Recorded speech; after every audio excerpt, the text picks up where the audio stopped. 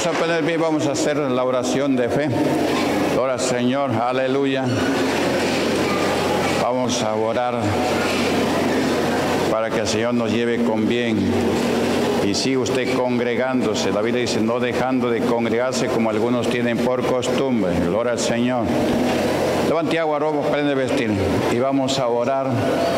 Y le invitamos a Paico. Paico, hay un señor del cerro que estás durmiendo y que hay bastante maíz y vienen las palomas a comer y luego vienen unos perros y se comen a las palomas. Aleluya. Hay que orar por Paica ya, para que no acontezca eso. Ya, el maíz es la bendición, pues, el pan del cielo. Las palomas, el pueblo de Dios. Los perros entran, los falsos profetas.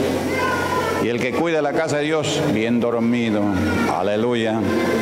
Y Dios revela eso para que lo sepa y, se despierte. Nosotros tenemos que estar despiertos. Despiértate tú que duermes, levántate de los, de muertos y te alumbrará Cristo para que hagas bien la obra del Señor que te ha encomendado. Amén. Oración. Todos los dirigentes también despiértense ya. Vamos a, comenzar la oración. Comienza así. Gloria, gloria, gloria a Dios. Glorioso Dios y Padre Celestial. Dios de los cielos y la tierra. Te damos gracias en el nombre de Jesús. Bendice, Señor. Bendice esas aguas. Santifícala, Dios mío. Esas prende vestir, la Señor. Esas y sálvalos, Señor. Llévalos conmigo a su casa, llévalos bien a su casa, su trabajo, su negocio, guárdanos en el camino.